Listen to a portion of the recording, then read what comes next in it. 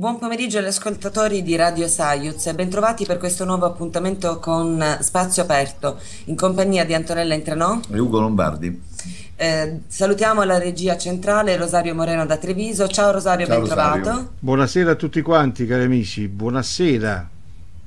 Un saluto anche al nostro assistente alla regia Ugo, bentrovato anche a te Ugo. Ciao Ugo. Risponderà. Eccolo. E salutiamo il responsabile di pianetaogitv.net Massimo Bonella, al quale tra brevissimo passeremo la linea per le prime news del pomeriggio. Bentrovato Massimo. Buonasera Massimo. Buongiorno a voi. Bene, intro- salutiamo naturalmente il nostro ospite, il dottor François Dumont, il direttore della comunicazione di Medici Senza Frontiere. Buonasera dottor Dumont e grazie per aver accettato il nostro invito. Buonasera. Buonasera a voi, grazie.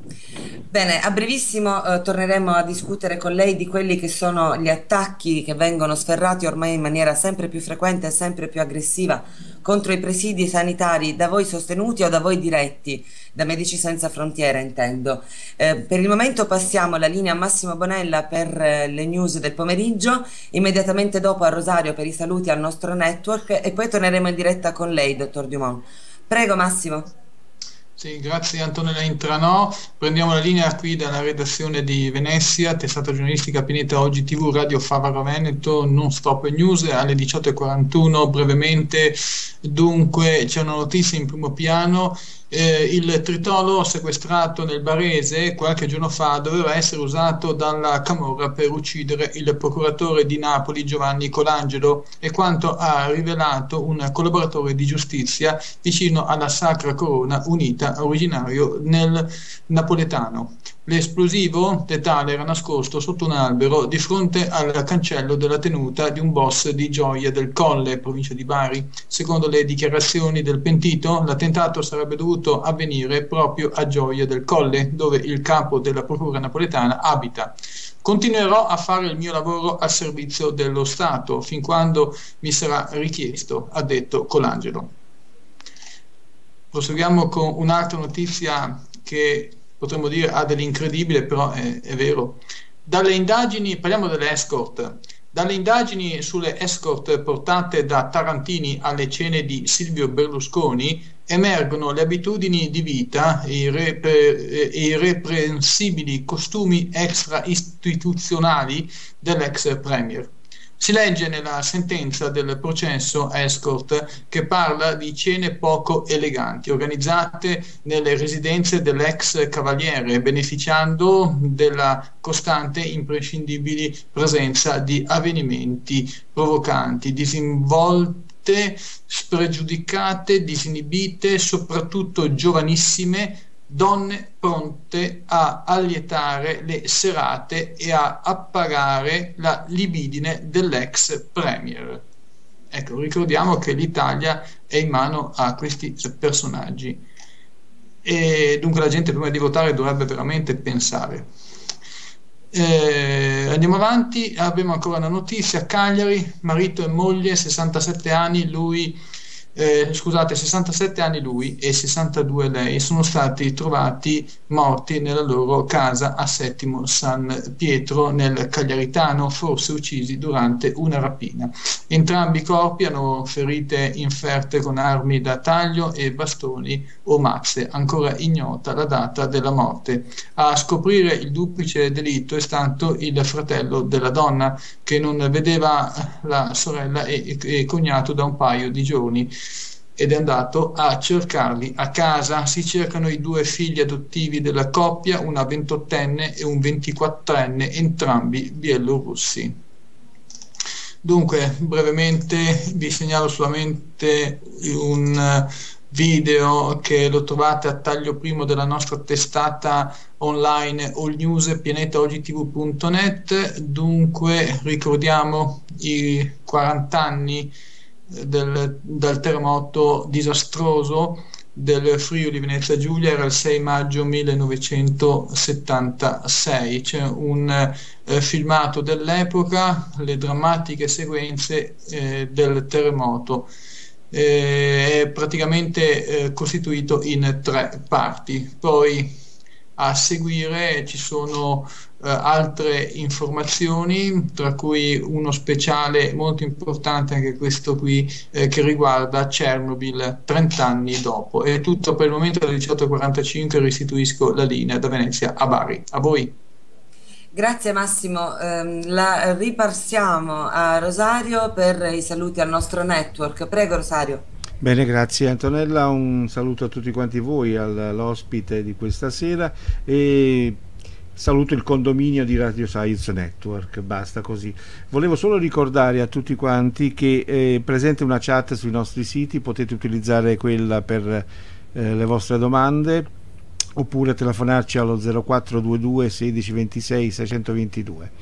È aperta anche la linea per gli... Eh, sul cellulare per quanto riguarda gli sms e i messaggi audio con whatsapp chiamandolo il 393 78 80 195 eh, vi ricordo che siamo a reti unificate quindi su Radio Reno Web di Casalecchio di Reno, Radio Favaro Veneto di Favaro Veneto, Radio Sismondi Libri di Salgareda in provincia di Treviso, Radio Isso di Modena, Radio Val di Chiana e eh, ovviamente insomma siamo sulla web tv sui due canali standard di Radio Science sul sito e presenti anche su Ustream Vogue Live e sul nostro canale YouTube.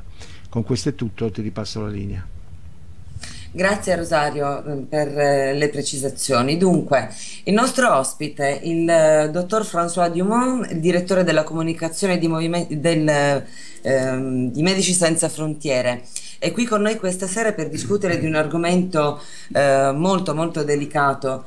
Eh, partiamo dalla ultima notizia ricevuta, eh, solo in ordine cronologico, l'attacco del 27 aprile all'ospedale di Aleppo, al-Quds, dove sono eh, decedute 50 persone, tutti civili, e eh, purtroppo l'unico medico pediatra della zona. Questo era un ospedale, dottor Dumont, eh, da voi sostenuto. Ehm, cosa ci può dire di questo evento davvero tragico? Sì, eh, infatti possiamo dire che è stato un bombardamento assassino, eh, questo bombardamento dell'ospedale di Al-Quds Aleppo, come l'ha detto più di 55 persone sono eh, morte da, fra pazienti e anche staff medico. Eh, e infatti anche l'ultimo pediatro rimasto nella città di, di Aleppo.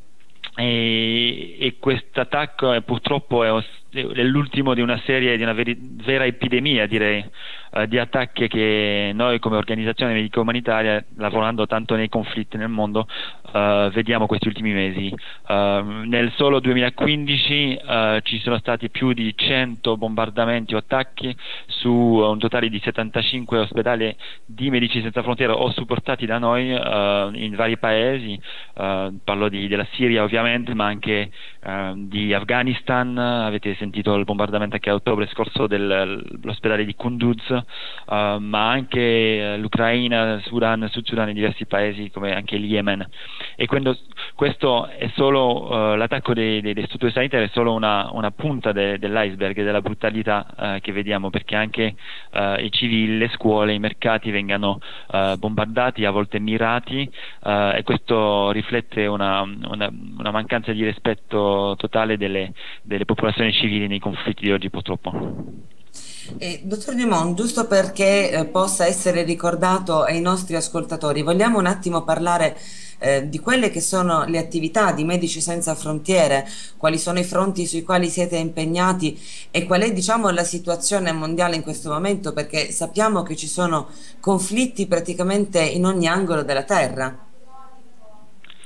Sì, infatti noi eh, cioè, siamo confrontati a a una moltiplicazione di crisi, diciamo, di conflitti, di situazioni di instabilità, um, di uh, situazioni che hanno spinto più di 60 milioni di persone nel mondo a, a fuggire, a essere costretta a prendere il via, a mettersi in viaggio. E questa è una crisi, uh, una delle sfide umanitarie più urgenti, una crisi che uh, senza precedente dalla seconda guerra mondiale. E per questo noi abbiamo deciso di, di lanciare una campagna che si chiama Milioni di Passi, che è una campagna proprio su queste persone che sono costrette a fare milioni di passi per, per fuggire, uh, perché per noi è diventato veramente un, un ambito, soprattutto in conflitti, uh, di, di, una sfida umanitaria alla quale rispondiamo.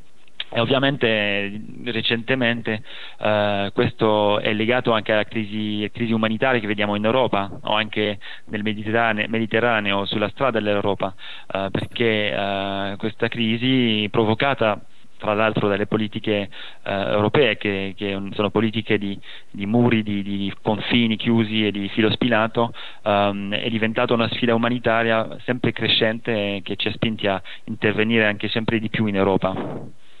E Medici Senza Frontiere è presente con il suo supporto sanitario in quanti paesi in questo momento? Parliamo di circa 60-65 paesi, ovviamente ci sono dei, dei, dei progetti che, che, chiudono e che aprono uh, e, e, rispondiamo sempre alle emergenze, quindi questo è variabile, ma più di 60 paesi. Mm.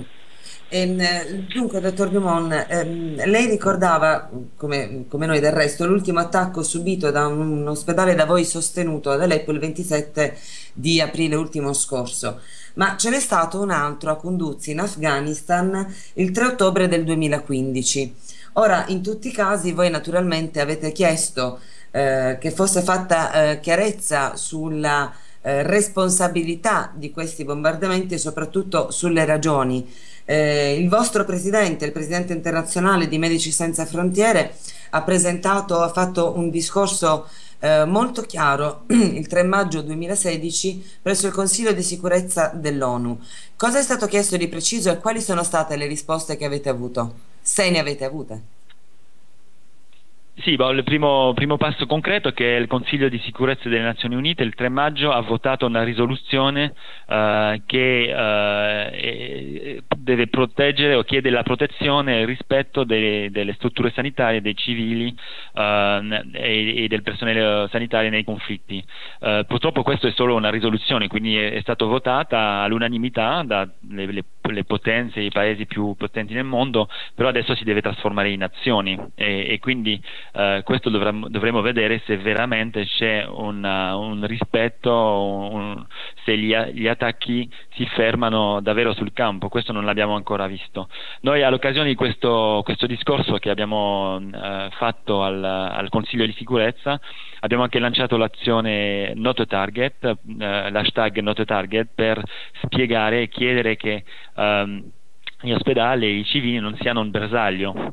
Uh, purtroppo, come dicevo, ci sono um, tanti attacchi non solo in Siria, non solo in Afghanistan, una, una vera epidemia di attacchi e, e per questo con questa azione Noto Target uh, chiediamo che uh, il diritto, diritto, internazionale umanitario, le regole della guerra, il rispetto dei civili, ehm, siano, uh, in realtà siano applicati, uh, ma anche che sia garantita anche uh, il fatto che l'etica medica come organizzazione medicale um, abbiamo il dovere di portare assistenza, fornire assistenza a tutti, um, a tutte le persone, a prescindere dalla parte del conflitto alla, cui, alla quale appartengono ma anche i combattenti, i combattenti che sono feriti diventano pazienti e questo è molto importante e deve essere riconosciuto.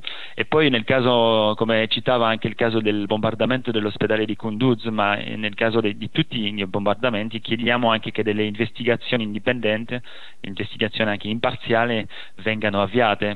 Uh, nel caso di Kunduz l'esercito americano ha riconosciuto aver bombardato uh, e ucciso più di 40 persone il 3 ottobre 2015 a Kunduz uh, ma purtroppo non hanno consentito l'avvio di un'investigazione indipendente. L'unica cosa che hanno fatto hanno fatto la loro proprio, propria uh, indagine interna all'interno dell'esercito americano e hanno uh, sospeso, hanno fatto un paio di, di, sanzioni disciplinari per il personale dell'esercito, ma non c'è stata un'investigazione davvero indipendente. Ma, dottor Dumont, come vengono giustificati questi attacchi su, su, obiettivi come appunto gli ospedali, i mercati? Cioè, la, la, guerra è assurda, questo lo sappiamo, non ha mai risolto nulla e credo non risolverà mai nulla. Ma com'è possibile che vengano effettuati attacchi su presidi sanitari che dovrebbero essere ehm, liberi dalle, dalle illogicità dei conflitti? Voglio dire, come come vengono giustificati questi bombardamenti? Come errori? In realtà spesso spesso eh, o, o, sono semplicemente taciuti, quindi non se ne parla, eh, e il fatto che ci sia Medici Senza Frontiere presente sul campo fa che eh, eh, un po' se ne parla, perché noi continueremo a denunciare, a parlarne, non, non rimarremo silenziosi su questo, uh, ma quando vengono uh, riportate vengono, vengono, descritte come errori, uh, e anzi non, sono, non, non basta descriverli come errori, in realtà rappresentano attacchi massicci, uh, spesso indiscriminati, uh, a volte mirati, uh, comunque sproporzionati contro, contro, i civili. Quando ci sono le bombe che cadono sul mercato, ovviamente non è un obiettivo militare, questo è inaccettabile. In, nel peggiore dei casi sono anche atti, atti di terrorismo, diremo. Quindi è inaccettabile e per questo chiediamo che Uh, siano mm, implementati dei meccanismi di, di uh, investigazione perché uh, questi attacchi non, non, siano più o taciuti o comunque dimenticati come semplici errori. Eh, dottor Dumion, eh, voi siete in grado di dire chi bombarda e perché bombarda? Cioè identificare chi bombarda al di là degli atti terroristici, secondo voi è facile? No, non è facile e non solo non è facile, ma non è anche la nostra specialità, quindi per noi eh, non, non, abbiamo la maggior parte del tempo le, gli elementi per dire eh, con certezza chi ha bombardato. Nel caso del bombardamento dell'ospedale di Kunduz in Afghanistan, eh, l'esercito americano ha riconosciuto eh, di essere stato colpevole di questo bombardamento, presentandolo come, come una catena di errori eh, al loro interno. Quindi lì eh, per noi quando il, il colpevole riconosce, riconosce aver bombardato, um, lì possiamo individuare le, pers- le, persone, le parti dei conflitti che sono responsabili. Nel caso della Siria è molto più uh, difficile, ci sono dei combattimenti intensi, ci sono delle linee di fronte all'interno delle città, ci sono delle linee di fronte che cambiano um, e quindi lì anche attraverso i progetti che supportiamo, eh, quindi gli ospedali che supportiamo, non è sempre possibile di di dire chi ha bombardato stesso per il Yemen, però ci sono, eh, eh, come l'abbiamo detto nel discorso al Consiglio di sicurezza eh, la settimana scorsa, ehm, diversi membri del Consiglio di sicurezza, quindi Stati Uniti, eh, Russia eh, e altri eh, paesi collaborano e partecipano a coalizioni uh, da una parte o dall'altra, quindi quelli che supportano il regime siriano, quelli che supportano anche l'opposizione siriana, uh, che sono stati um, in un certo modo coinvolti uh, dal fatto che supportano o bombardano nel paese. Secondo lei gli ospedali che vengono bombardati eh, e da voi sostenuti sono ben segnalati, quindi individuabili anche da aerei? Cioè si vede che quello è un ospedale? Sì, eh, per dare l'esempio di Kunduz, per esempio, è una pratica classica che facciamo quando gestiamo direttamente un ospedale eh, in conflitti, eh, comunichiamo eh, le coordinate GPS, quindi tutti gli attori, non solo l'esercito americano, in questo caso, ma anche eh, le autorità afghane e anche i talebani l'opposizione afghane avevano Uh, le coordinate precise dell'ospedale di Kunduz uh, per fare in modo che uh, non venga, venga rispettato, venga risparmiato e non venga mirato. purtroppo, nonostante quella comunicazione dei GPS, delle coordinate, è stato bombardato l'ospedale. Um, in altri casi um, abbiamo comunque in ogni caso in realtà ehm, eh, sul tetto dell'ospedale anche una croce rossa o un logo di Medici Senza Frontiere rosso per, ehm, per individuare anche a vista eh, il fatto che la struttura sia una struttura sanitaria. Io credo che eh, comunque se si facessero delle indagini, eh, personale esperto sarebbe in grado di, di, di, conoscere da che parte viene il bombardamento e che tipo di bombe sono. Insomma, non sarebbe credo difficile anche diciamo, alla, con la, la, l'utilizzo di satelliti o altro, ma eh, voglio dire, eh, potrebbe essere un fuoco amico che poi magari induce a pensare a un fuoco cosiddetto nemico a, a, a distruggere gli ospedali, secondo lei? Beh, non so se possiamo parlare di, di fuoco amico o nemico perché uh, noi in ogni conflitto uh, lavoriamo e garantiamo il nostro accesso alle popolazioni uh, mantenendo una, una strettissima neutra- neutralità. Vuol dire che parliamo sia eh, con l'esercito americano che con i gruppi di opposizione, gruppi armati in tutti questi paesi, parlo della Siria, dell'Afghanistan e di altri quindi con questa neutralità non, non, non, non possiamo comunque uh, distinguere fra nemico e amico. Uh, detto questo, uh, non, siamo degli esperti militari, quindi comunque là dove abbiamo accesso non possiamo e non, facciamo delle investigazioni militari su questo, per questo chiediamo alle autorità competenti di farlo, autorità imparziali indipendenti di farlo. Uh, perché proprio non, per esempio riprendo l- gli attacchi con armi chimiche nella periferia di Damasco nel 2013 Medici Senza Frontiere supportava degli ospedali che hanno ricevuto centinaia, migliaia di, di persone uh, colpite dalle agenti chimici. Uh, l'abbiamo denunciato, abbiamo fatto una denuncia internazionale forte però non abbiamo potuto eh, con certezza dire Uh, chi fosse responsabile. Uh, questo sono stati uh, degli investigatori indipendenti delle Nazioni Unite che sono andati a eh, investigare. E certo, chi viene lì con gli aerei o manda i droni non credo che abbia anche delle truppe da proteggere.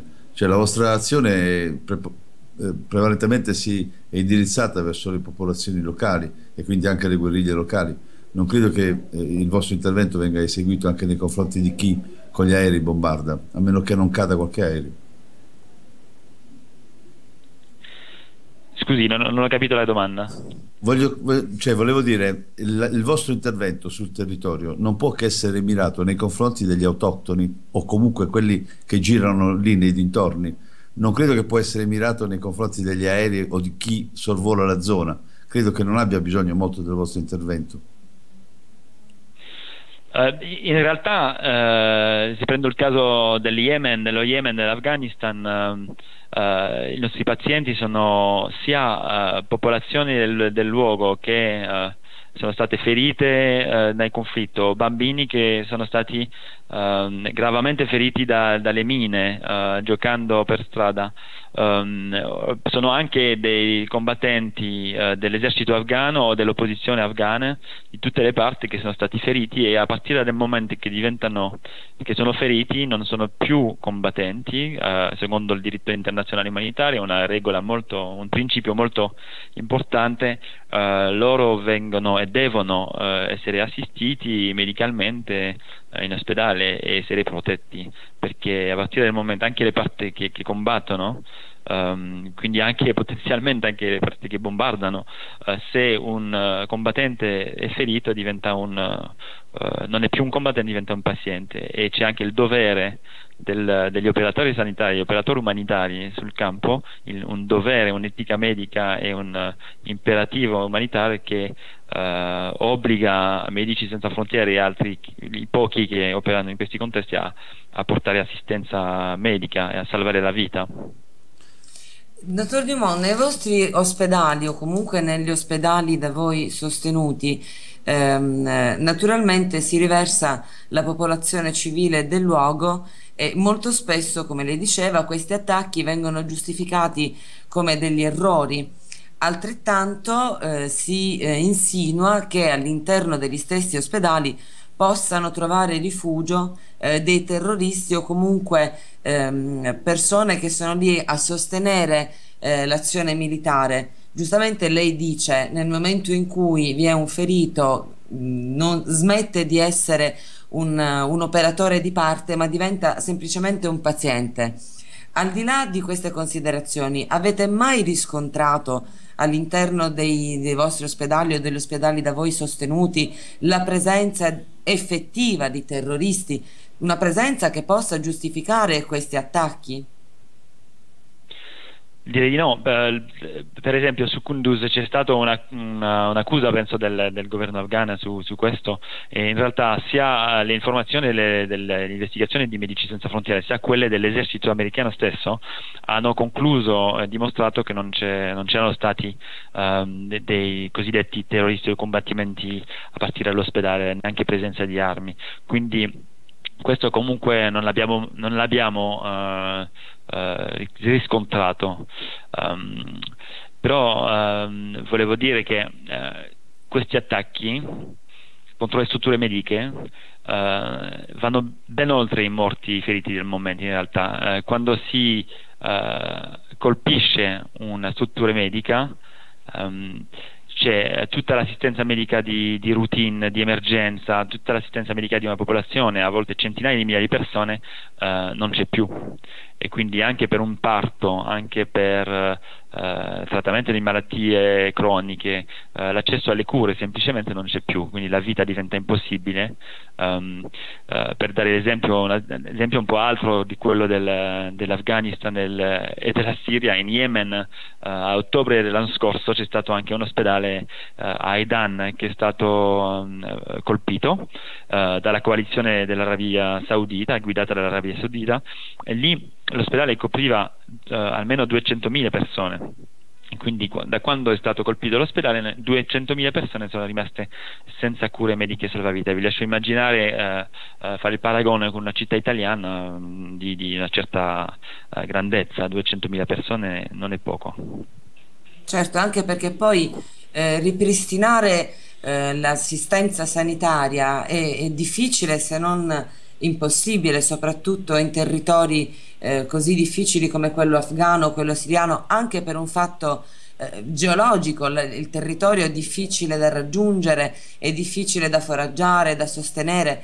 Quindi riuscite poi a eh, ripristinare l'assistenza sanitaria laddove eh, si, so, si, è assistito ad attacchi e a bombardamenti o questi territori poi rimangono assolutamente privi di assistenza? Nel caso di Kunduz in Afghanistan non siamo ancora tornati, non abbiamo ancora le garanzie, prima di tutto la struttura è distrutta, ma non abbiamo ancora le garanzie da, per ritornare a lavorarci. Uh, però in Afghanistan, l'Afghanistan rimane una, uno dei paesi in cui lavoriamo di più, abbiamo una, uh, una, dei programmi in Afghanistan fra i più importanti di Medici Senza Frontiere, continuiamo a lavorare a Kabul in due ospedali, a Khost, uh, Lashkar quindi cinque, cinque progetti di ospedali continuano. Um, in altri casi dipende la struttura, ci sono altri casi eh, in altri paesi come penso, penso, in Yemen o in Siria, gli ospedali sono stati ripetutamente colpiti, quindi vuol dire che fra due attacchi stato, eh, è stato possibile ricostruire e renderlo operativo di nuovo, um, però dipende dal livello della, della, de, de, de, della distruzione ovviamente. Certo. Eh, sì, ehm, io credo che il vostro impegno sia profuso prevalentemente nei confronti di, eh, diciamo, di lesioni mh, acute. Credo che voi non abbiate tempo né possibilità di curare i cronici.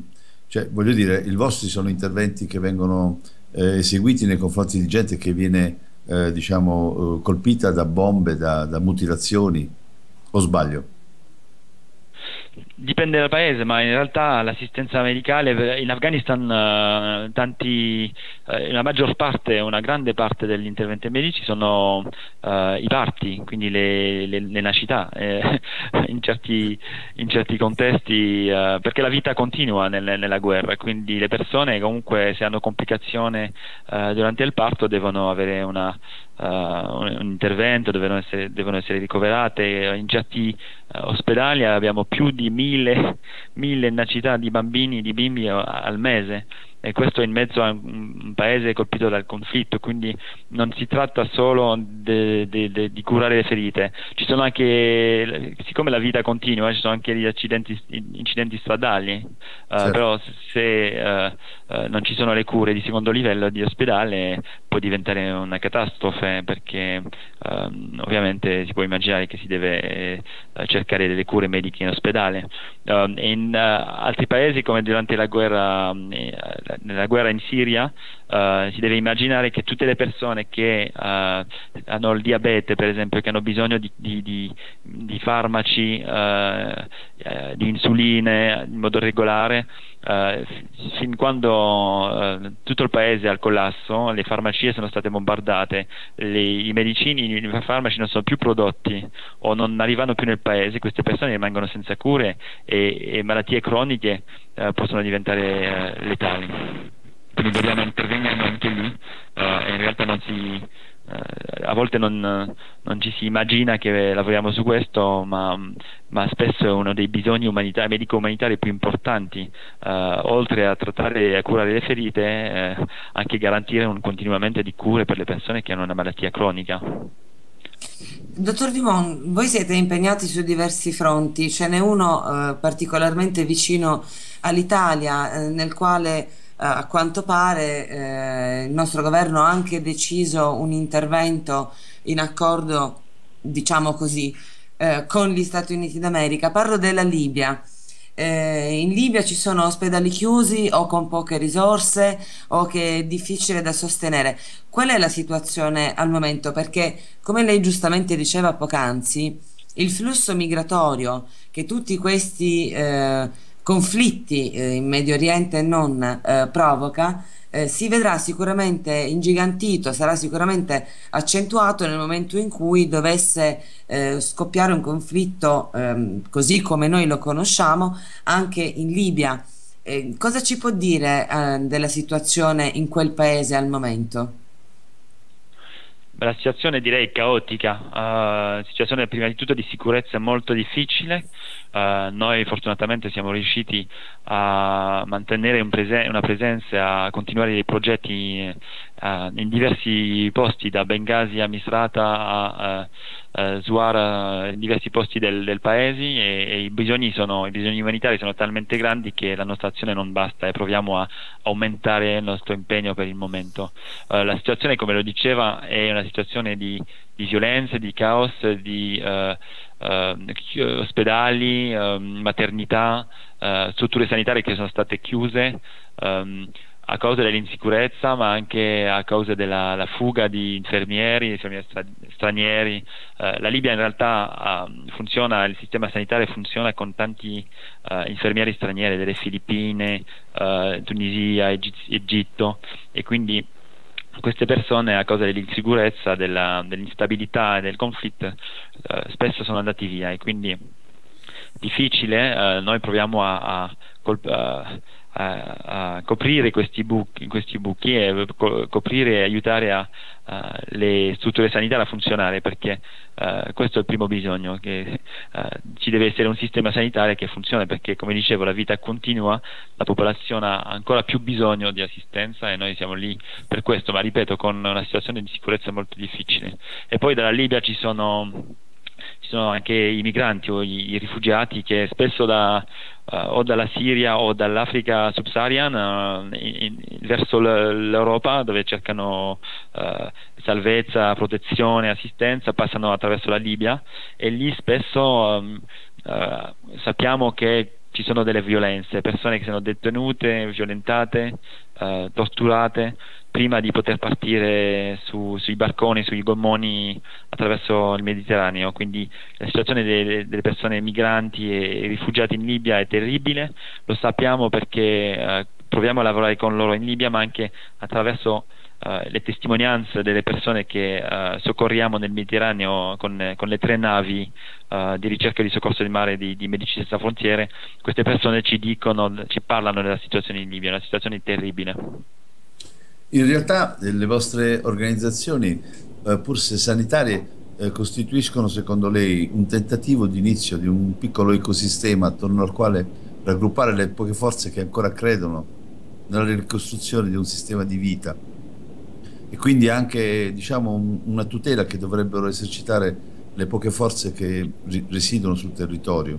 Insomma, è un piccolo tentativo di rinascita, secondo lei? Allora, se ho capito bene, io, io volevo dire se su um, un ospedale, per esempio, una, una, situazione di crisi o di conflitto, di violenza, un ospedale è anche un posto sicuro, bah, dovrebbe essere un posto dove um, eh, uno, un ultimo spazio di umanità in una situazione di, di caos eh, disumanizzato, diciamo, eh, laddove non c'è più umanità, gli ospedali, almeno storicamente, sono posti dove si può andare a cercare assistenza, cure, anche sostegno psicologico. In tanti paesi in conflitto e in instabilità, quando ci sono combattimenti, le persone vengono all'ospedale, uh, vengono nel anche nel giardino dell'ospedale per cercare protezione. Quindi sì, eh, questi spazi sono spazi di umanità e nonostante il fatto che vediamo spesso tanti, tanti feriti, tanti tante cose orribili, tanti morti anche, eh, sono anche i posti dove ci sono eh, le nascita, dove ci sono anche momenti positivi. Penso che parlando con i miei colleghi ehm, sono i momenti che, che, che, ci consentono di trovare le forze di continuare a lavorare perché, eh, perché anche in un ospedale ci sono anche delle, delle situazioni molto, molto positive di vita e di speranza. Dottor Dumont, un'ultima domanda perché sappiamo che, eh, anzi forse abbiamo anche approfittato già troppo del suo tempo, ma eh, lei poc'anzi parlava delle eh, politiche di chiusura rispetto ai fenomeni eh, migratori in Europa. Ehm, quale sarebbe secondo lei la politica corretta da adottare di fronte a situazioni di emergenza umanitaria come queste? A noi quello che chiediamo eh, è sicuramente la creazione di, di, di canali eh, legali e sicuri eh, per le persone che cercano a raggiungere protezione o assistenza in, in, Europa o in Europa o in altri continenti. Ma l'Europa, devo dire, oggi eh, è diventato um, la rotta migratoria più uh, mortale, più letale, più pericolosa al mondo. Solo l'anno scorso quasi 4.000 persone sono, sono morti. Provando a raggiungere l'Europa sia nel Mediterraneo che Uh, nelle isole greche o venendo dalla Turchia. Quindi questo succede perché uh, non ci sono uh, canali sicuri. Quindi le persone di fronte a un muro, un filo spinato, una nave militare, un confine chiuso, non hanno altra scelta che andare a cercare un altro modo di di cercare protezione e questo eh, è molto importante notare che non, non, non siamo di fronte a un fenomeno globale, che, che l'Europa comunque eh, accoglie pochissime persone rispetto al numero totale di persone che sono costrette a fuggire, ho parlato di 60 milioni di persone. Prima, eh, l'Europa l'anno scorso ha, ha, penso un milione di persone sono arrivate in Europa. Quindi rimane um, una, una, minoranza rispetto a, a, per esempio alla Turchia che oggi ha quasi 3 milioni di persone uh, in Turchia. Quindi è importante dire che il numero di persone che cercano protezione in Europa è, è, non è eh, per niente un assedio o un'invasione come a volte sentiamo, sentiamo eh, il linguaggio nei discorsi eh, eh, di certe persone, ma in realtà sono persone che eh, eh, con vie legali sicure potrebbero trovare protezione senza dover rischiare la vita attraversando un mare eh, su un gommone o ehm, rischiando la vita eh, sulla rotta balcanica o vivendo in condizioni inaccettabili ehm, in, in, campi, eh, in, campi in tende, in campi in condizioni inaccettabili. Grazie dottor Dumont per aver partecipato alla nostra trasmissione. Eh, speriamo di poterla riavere come ospite naturalmente in futuro perché eh, sarebbe importante seguire la vostra campagna che ricordiamo agli ascoltatori Note Target, una campagna che serve proprio a impedire che i presidi sanitari o comunque gli obiettivi sensibili, quali, possono, quali sono eh, gli ospedali, i mercati, insomma si smetta di considerare la vita di un essere umano senza nessun valore solo perché afgano, siriano, eh, libico, eh, yemenita, quello che vogliamo. La vita umana è comunque per noi perlomeno ancora un valore e va tutelata. Grazie al dottor Dumont. Buon lavoro. Grazie, grazie mille a voi. Grazie al lavoro di Medici Senza Frontiere e a presto naturalmente. Grazie. Arrivederci. Buonasera. Grazie, arrivederci. Arrivederci. Bene Rosario, se eh, non ho letto male dovremmo avere in linea il nostro Marco Grilli.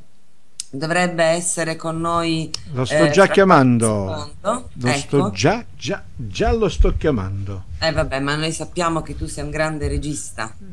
Sono grosso più che grande. Eh dai, le dimensioni non contano, conta la sostanza. Solo che vediamo se... Eh... Abbiamo Marco? Eh, lo sto chiamando. Voi andate avanti mentre eh, tento... Attenzione, attenzione eh, vi chiamo dalla redazione di Venezia, eh, se mi sentite, sì, che c'è, eh, abbiamo sì. un aggiornamento molto breve, dunque Camorra, latitante da due anni tra i 100 più pericolosi d'Italia, Umberto Accurso, è stato arrestato dai carabinieri del nucleo investigativo di Napoli in un appartamento nell'Interland a nord del capoluogo campano. Lui ha 23 anni, è ritenuto elemento di spicco della cosca della Vanella Grassi. Dunque, più eh, informazioni nell'edizione di Osservatorio Antimafia. Alle 19.20 vi restituisco la linea. Grazie Massimo e ne approfittiamo per ricordare ai nostri ascoltatori l'appuntamento alle 22 con Osservatorio Antimafia e eh, non so se abbiamo in linea Mar Marco. Sì, sì, Marco c'è, Marco c'è. Ecco, ciao Marco, sì, buonasera. Buonasera a tutti. Marco. Buonasera. Allora Marco, eh, noi abbiamo avuto modo di parlare questa sera con eh, François Dumont, il direttore della comunicazione di Medici Senza Frontiere e ehm, l'ultima domanda che le abbiamo rivolta, rivolto eh, riguardava naturalmente la situazione in Libia che pare si stia facendo sempre più complicata, eh, ci ha riferito di grandi disordini, di una situazione davvero caotica senza alcun tipo di controllo. Sappiamo anche che è sempre più ehm, vicino l'impegno di, eh, se non erro Marco, correggimi, partiamo con 50 uomini. Marco? Marco? Rosario, c'è qualche problema di comunicazione? No, Marco lo vedo, è collegato con noi, ma non, eh, forse ci sta ascoltando sulla web radio, non su Skype. Marco, se ci sei, batti un colpo. Mi, mi... Temo abbia qualche problema di carattere tecnico più che altro. Sì. Probabilmente ha un problema col microfono. Te? Marco, non, Ma... non, non ti sentiamo bene. Però vi sento perfettamente, non ho problemi di sorta, eh, la linea c'è. Ecco, però... ora ti sentiamo, sì, sì. Ok, ehm, la domanda... Mm, Rosario, non so tu, oh. ma noi non sentiamo oh, nulla praticamente. No, è come se arrivasse a scatti. Sì, infatti, non, non so se è un problema di linea. Vogliamo magari provare a richiamarlo, Rosario? Vediamo un po' se. Sì, eh, adesso riusciamo... Marco. Marco, ti richiamo. Evidentemente c'è un problema sulla linea.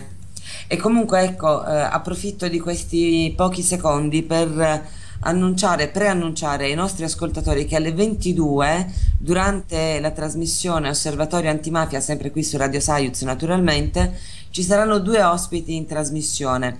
Avremo Giorgio Bongiovanni, il direttore di Antimafia 2000, e Francesco Lorusso ehm, le polemiche che si sono sviluppate in questi giorni sull'antimafia ehm, no, ci hanno spinti comunque a eh, chiedere la presenza del direttore naturalmente, ma eh, l'invito di questo, di questo ragazzo, di quest'uomo, Francesco Lorusso, che vive in un paese qui in provincia di Bari, aveva un'attività commerciale, era proprietario di un bar eh, con suo padre.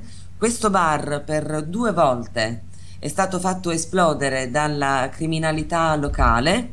A causa di questo il padre di Francesco si è suicidato e il 18 maggio, quindi tra una settimana precisa, il locale verrà nuovamente inaugurato. Eh, Francesco Lorusso ha avuto il coraggio e la forza di ehm, eh, superare eh, la, morte del, la tragica morte del padre, eh, creando ancora una possibilità nella sua vita eh, riaprendo il bar nonostante tutto e facendo di più. Eh, diventerà un presidio antimafia. Quindi questo è un, un modo di eh, dire, di dimostrare come l'antimafia non venga fatta solo con le chiacchiere, ma soprattutto con i fatti, fatti concreti come questo qui. Marco, proviamo un po' a vedere se riusciamo a sentirti. Ora mi sentite? Ecco, adesso sì, finalmente. Eh, adesso sì. Ecco. Ma non, non, so cosa sia cambiato rispetto a prima, ma non importa. L'importante è che adesso abbiamo. Sì, sarà stato un problema di linea, Marco, nulla di più. Beh, a meno che non sia qualche, qualche oscura fo- Ecco, appunto. ottimamente le voci. Ecco la forza di oscura. Eh, Questa è la forza oscura che non ci consente di ascoltarti questa sera, Marco. Non so, ci proviamo. Vediamo un po' se riusciamo ad Ora- essere noi più tenaci. Ci, sentia- ci, mi- ci siamo lasciati prima con la tua domanda, alla quale io ho risposto con una controdomanda, cioè stiamo parlando di cifre ufficiali? Possiamo parlare di cifre ufficiali, ma possiamo parlare soprattutto di cifre ufficiose e di quelle che sono le reali situazioni, non quelle che vengono raccontate. Allora, eh, vi citerò i- eh, Rosario? Posso farci niente? Beh, arriva proprio così, arriva. E allora sarà un problema di linea questo, eh? Perché noi purtroppo non sentiamo. O è un problema di microfono, Eh, c'è più il problema di microfono, può darsi, che di linea. eh, perché la lo- linea perché lui si sente bene, quindi... è di fatti. Adesso Eh, mi non- sentite? Eh, forse sì, Marco, vediamo un po'. Eh, vabbè, ho disattivato il microfono, No, neanche. eh, ora nemmeno. No, prova a Eh, parlare, prova a parlare, senza cavallarci, prova a parlare. Eh, io sono pronto e disponibile, non so se voi mi sentiate. Vai tranquillo adesso, Marco. Va bene, allora a quanto pare abbiamo trovato un rimedio alla, alla- alla situazione. Speriamo. Dicevo, mh, eh, stavo dando un'occhiata a... No. ad un- Veniva...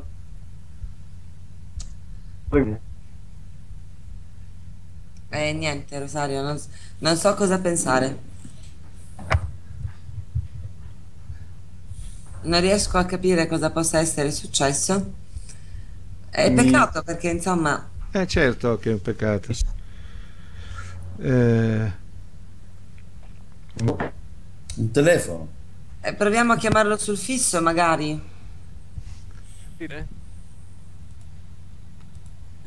Marco? Ecco, Rosario, magari Eh, prova sì, a chiamarlo sì. sul fisso, vediamo un po' Un se almeno in questo modo soltanto. riusciamo. Sì, un attimo soltanto che lo sgancio come, come Skype, un attimo. eh. Sì, sì. Perché eh, sicuramente Marco può darci delle informazioni Certo, eh, interessanti, eh, insomma, quello che noi stiamo, siamo chiamati a fare è ehm, un impegno gravoso, difficile, quantomeno inopportuno eh, nel momento che la nostra stessa nazione sta vivendo. Ehm, non sarebbe il caso di eccolo qua, sto chiamandolo. Vediamo se Marco Pronto? Eccoti Marco. Eh, A quanto pare era vero lo spot della, della SIP, quella volta lì ancora, il telefono la tua voce. Eh, pare proprio di sì. Alla fine in zona Cesarini ci salva sempre. Sì, no, no, Marco, voglio dire, mi fa morire il fatto che siamo tutti dotati di super tecnologie e alla fine tocca parlare col telefono, ma comunque, no, venga. Allora, Allora, stavi stavo dando un'occhiata? Sì, stavo dando un'occhiata a diverse cosucce, ehm, perché la mia controdomanda, stiamo parlando di cifre ufficiali ufficiose, perché giustamente mi hai detto ufficiose, perché? Perché tecnicamente noi non dovremmo neanche essere lì ancora, e invece siamo già lì da un bel pezzo e stiamo anche facendo le cosine, a quanto pare, sotto banco. Quindi eh, quando mi dicono che spediamo 50 soldati mi viene da ridere perché eh, stando a quello che dice qui eh, il secolo d'Italia, per esempio uno tra i tanti quotidiani che si possono consultare anche online, ehm, la missione italiana in Libia prevede anche l'addestramento di reparti locali e al momento si sta approntando un dispiegamento di 400 uomini al massimo, una parte composta da carabinieri che temono una missione troppo leggera come copertura di fuoco. Ora, prima domanda, io sono quello delle domande come voi sapete. Eh, se si parla di 50 uomini e stiamo già dicendo 400 uomini al massimo, vuol dire che c'è già qualcosa che non quadra, perché siamo, eh, dunque fare 5 per 8 40, siamo 8 volte tanto. Eh, per non parlare del fatto che ehm, noi comunque anche con i servizi di intelligence, e mi fa ridere perché effettivamente c'è una contraddizione in termini quando si parla di intelligence e guerra, ma comunque siamo già lì da un bel pezzo a eh, complottare con gli Stati Uniti che sono anche loro lì da un bel pezzo a preparare il terreno. Eh, quindi già il fatto che ci, si parli di 50, 50 unità eh, di dispiegamento ufficiale italiano è un dato che non sta in piedi perché non mandi 50 persone, sì forse per l'addestramento ancora ancora i reparti locali possono andare bene, ma per sostenere azioni di guerra o di guerriglia mh, mm, potrebbero andare bene per una missione in territorio italiano contro qualche malvivente ma eh, in territorio straniero, per di più in una zona di guerra, la vedo un po' difficile onestamente per i canoni che sono quelli del, diciamo, delle missioni mh, mm, eh, militari. A meno che non si tratti di missioni super segrete, allora i quantitativi di uomini che vengono spostati sono sempre limitatissimi, perché chiaramente devono fare delle azioni di guerriglia tipo eh, eh, mordi e fuggi, quindi si va sul territorio, si colpisce e si torna via il prima possibile con bottini più o meno identificabili eh, in vittime piuttosto che in eh, diciamo, materiali che devono essere, o, o, o, persone che devono essere recuperate. Questo ci dice eh, la tecnica di guerriglia. Quindi se parliamo di, di un intervento armato e costante sul territorio 50 unità sono decisamente troppo scarse e non giustificano neanche francamente il disturbo di una forza armata. Quindi eh, non riesco a capire mh, mm, eh, perché qualcuno continui a prenderci in giro perché io ho notato che soprattutto ultimamente l'intelligenza della gente si sta un attimino risvegliando e comincia a farsi due punti in tasca. Anche se devo dire la verità, stanti i risultati, permettetemi il breve riferimento, del referendum sulle trivellazioni eh, diciamo, rivelano che le coscienze sono ancora abbastanza dormienti, non si sono ancora resi conto gli italiani che se vogliono ottenere qualcosa devono esporsi, devono prendere in mano la situazione. Per cui quando leggo anche i dati politici Mm, eh, per quanto riguarda l'astensionismo vicino a quote tra il 37 e il 39%, comunque attorno al 40%, vuol dire che oltre ad avere sfiducia nella politica, sfiducia di comodo per la maggior parte delle persone tra le altre cose, eh, gli italiani non muovono il sederino dalla sedia, quindi non sono molto meglio dei politici che accusiamo di occupare le sedie e non liberarle per lasciare posto a chi effettivamente ha voglia di fare scusate il breve riferimento. No, ci mancherebbe. È un riferimento comunque opportuno perché gli organi di informazione istituzionali ci vendono questo nostro intervento a tutela eh, dei, dei nostri stessi interessi in quanto eh, è necessario ehm, creare comunque una difesa rispetto alla, alle attività economiche nelle quali anche noi siamo coinvolti, ma di lì poi ad un coinvolgimento di altro genere e di altra natura credo che il passo sia molto molto breve. Beh, eh, se teniamo conto del fatto che eh, con buona degli, dell'italiano medio il Presidente del Consiglio dei Ministri eh, si è peritato di, di, di, di, comunicare i dati delle vendite nel nostro settore militare o del, diciamo, nel settore armamenti italiano, eh, che si tratti di armi vere e proprie piuttosto che munizioni, forniture di altro genere o addirittura di eh, servizi di tecnologia integrata con finalità militari eh, sappiamo Finmeccanica eh, o, o, Leonardo dir si voglia, eh, fondamentalmente non si occupa semplicemente di parti di aerei eh, intese come eh, superfici mh, mm, più o meno visibili, si occupa anche proprio di, di tecnologia eh, anche a livello di per esempio Selex, sistemi integrati per cui stiamo parlando di radar, stiamo parlando di sistemi di avionica, stiamo parlando di un sacco di altri tipi di fornitura e il bilancio di vendita delle, delle nostre imprese italiane de, dedite alla costruzione di armamenti è passato da 2,9 miliardi di euro di commesse a 8,2 miliardi di euro di commesse nel giro dell'ultimo anno, dove tra le altre cose, fatalità, in, eh, diciamo, i, gli alleati, chiamiamoli così, gli, acquirenti medio orientali la stanno facendo da padroni, perché stanno acquisendo grossissime quote di mercato. Allora, prego. Marco, no, volevo sapere, anzi volevo chiederti, tu sei al corrente che probabilmente l'invasione della Libia, che poi è stata guidata dai francesi, eh, quando hanno deposto il, il loro eh, Gheddafi, eh, sia stata determinata dal fatto che lo stesso Gheddafi probabilmente voleva creare una banca con eh, la tutela dell'oro e quindi contrastare tutto il sistema bancario occidentale. Il motivo per cui è stato attaccato si dice che sia stato anche questo. Non solo, come avevo già accennato, eh, mi pare nel corso dell'ultima trasmissione alla quale avevo avuto il piacere di partecipare, sembra che eh, il caro colonnello Muammar Gheddafi, prima di eh, lasciare questa valle di lacrime, eh, ad opera non tanto dei francesi ma di altri sostanzialmente che sempre dietro a tutto stanno, eh, avesse cercato di contattare... Prego? La guida affidata ai francesi ma dietro ci sono altri. Sì, sì, sì, l'autista era francese, ma il proprietario dell'automobile o del mezzo di, di locomozione era di altra, di altra nazionalità sicuramente. Eh. Eh, tanto sì che avevo commentato, dico, questo aveva cercato l'aiuto o il contatto con Israele, fatalità, si parla di banche, si parla di valori mobiliari o comunque di, di oro e quindi di, mh, mm, diciamo della che posso dire io, del metallo prezioso per eccellenza, nonché del metallo che costituisce le riserve per eccellenza dei vari paesi all'interno della, diciamo, della, del globo terracqueo e poi è finito come è finito.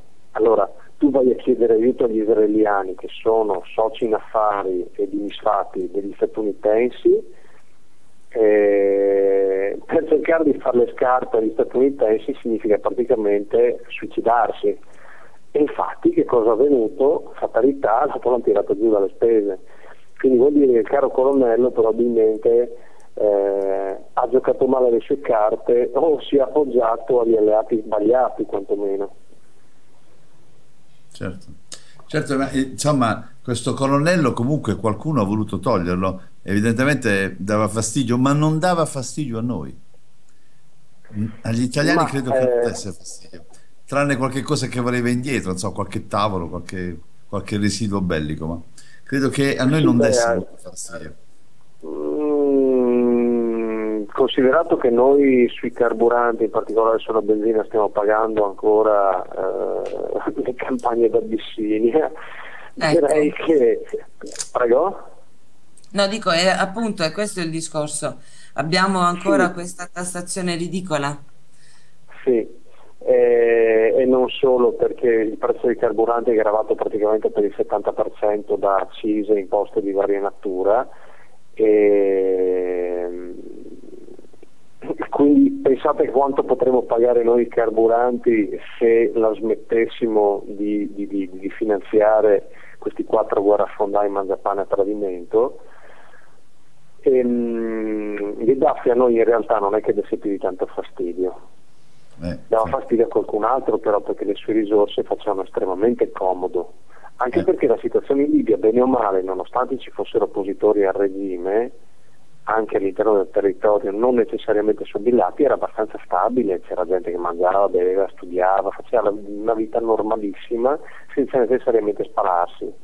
Poi arrivano i francesi e dicono no, la situazione non va bene, eh, dobbiamo spodestare l'ennesimo dittatore, con buona pace appunto del, degli amici statunitensi, eh, e eh, appunto Gheddafi ha capitolato abbastanza velocemente. Poi adesso in Libia, come voi sapete benissimo, c'è un governo, un governo amato dal popolo e voluto dal popolo, iperstabile, con idee chiare su cosa fare, al confronto del quale probabilmente il, l'ultimo tentativo di Bersani di formare il governo anni fa, non molto tempo fa in realtà, eh, circa tre anni fa, eh, sembrava una situazione di stabilità come dire, destinata a durare nel tempo. Perdonate l'ironia, ma È necessaria. È un'ironia necessaria visti i risultati. Per cui eh, sì, eh, sono curioso di vedere dove andremo a parare. ehm, dirò di più, ci sono anche da tenere in conto, e prossimamente saranno sempre più cogenti e costrittive le, le condizioni diciamo, di trattativa tra eh, l'Arabia Saudita e gli Stati Uniti, perché eh, al, diciamo, ai partner storici della- degli Stati Uniti si sta aggiungendo, se preferite, sta, tra, i, tra i partner storici sta emergendo l'Arabia Saudita in questo periodo, che non vede l'ora di fare fuori Bashar al-Assad, eh, così come sta facendo il disastro in Yemen, tra parentesi, cose delle quali non parla praticamente nessuno, perché noi sappiamo della Siria, sappiamo della Libia, sappiamo dell'Afghanistan, sappiamo di altre tre o quattro cose in giro, ma nessuno parla dello Yemen, se non una volta di morte di Papa, e lì stanno facendo il disastro a livello di pulizia etnica quasi. E ne abbiamo parlato poc'anzi con eh, il dottor Dumont di, di Medici Senza Frontiere, ha citato più volte il loro impegno in eh, Yemen proprio per questa ragione, ma ehm, eh, Marco, ricordiamo agli ascoltatori che tu sei il coordinatore per il Friuli Venezia Giulia di Alternativa Politica, il laboratorio creato qualche tempo fa eh, da Giulietto Chiesa. Eh, una delle vostre ehm, campagne, una delle tante che eh, portate avanti con eh, molto impegno, è Fuori l'Italia dalla Nato. Assolutamente sì. Ecco, allora non abbiamo moltissimo tempo e mi rendo conto di porti una domanda che non può essere, eh, non può vedere una risposta esaustiva nel giro dei prossimi quattro minuti, ma ti chiedo di fare questo piccolo sforzo. Vogliamo spiegare la ragione per la quale Alternativa e quindi Giulietto Chiesa assieme a tutti voi chiede che l'Italia esca dalla Nato? Allora, senza troppi riferimenti storici che eh, richiederebbero di allungare i tempi, ehm, mettiamola così, la Nato si è trasformata nel corso del tempo da eh, alleanza difensiva nata sostanzialmente ai tempi della guerra fredda o ai prodromi della guerra fredda, in alleanza offensiva, cioè cosa significa? Che qualunque dei paesi faccia parte eh, della Nato venisse attaccato, provocato o millantasse, se vogliamo essere più franchi, di essere attaccato o minacciato da un paese non facente parte della Nato, può invocare automaticamente l'aiuto degli altri appartenenti alla Nato per rispondere militarmente alla presunta o effettiva offesa. Ok? Questo Sì. significa che, per esempio, se la Turchia, come ormai eh, in parola, dovesse a pieno titolo esercitare le proprie pretese nei confronti degli alleati NATO, significherebbe che il nostro eh, Erdogan potrebbe chiedere l'aiuto di qualsiasi tra gli alleati NATO per contrastare quelli che sono i suoi nemici più o meno chiaramente individuati o, pretestuosamente individuati. Questo per fare un esempio. Ci sono degli interessantissimi articoli, io invito le persone che ci stanno ascoltando eh, andare a leggere gli articoli di Manlio Dinucci che eh, è di una precisione eh, mostruosa, ha anche dei dati sempre aggiornati e soprattutto segue con molta attenzione tutta la creation militare NATO e non, in, eh, soprattutto di parte dei paesi dell'Europa, per il loro coinvolgimento nei vari teatri di guerra, altro che missioni di pace o di stabilizzazione, che si stanno creando all'interno del, diciamo, dell'area eh, medio orientale o nord o sud mediterranea, insomma, per capirsi, nord africana, mettetela un po' come volete voi.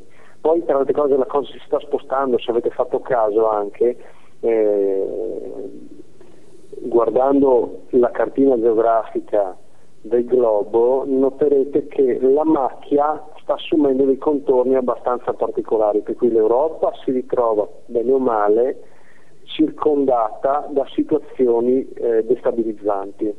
E la Russia è pesantemente sotto attacco, tra virgolette, psicologico, se non fosse che il leader della Russia è una persona piuttosto navigata, oltre che molto intelligente.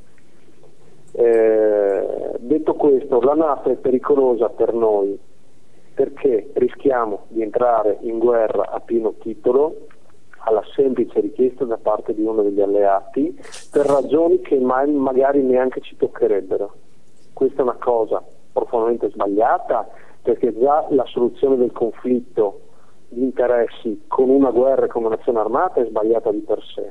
E non voglio fare il pacifista così spicciolo, ma è un dato di fatto. Le controversie non si devono risolvere con l'uso delle armi, si devono risolvere in maniera politica, cioè parlando e trovando le soluzioni che vengano condivise. È chiaro che ognuno deve fare dei piccoli sacrifici o dei passi indietro, ma per poter andare avanti dobbiamo evitare di incorrere negli sbagli che sono già costati troppe vite a tutte le civiltà coinvolte. Possiamo fare il caso anche della Shoah, possiamo fare il caso eh, anche della prima guerra mondiale, possiamo fare il caso di tutte le guerre locali, i conflitti nella Jugoslavia, anche quelli erano mossi da motivi pseudo-etnici, ma c'erano comunque degli interessi dei potentati alle spalle. Quindi la storia purtroppo si sta ripetendo non in maniera solo fastidiosa, in maniera estremamente pericolosa ed involutiva, perché stiamo andando veramente verso una guerra nucleare. Ci sono tutte le premesse, Dio non voglia che qualcuno prema il pulsante e noi ci ritroveremo in mezzo anche se non siamo direttamente interessati, proprio perché apparteniamo alla Nato. Su questo argomento Marco torneremo perché eh, riteniamo sia opportuno un approfondimento e un ulteriore chiarimento.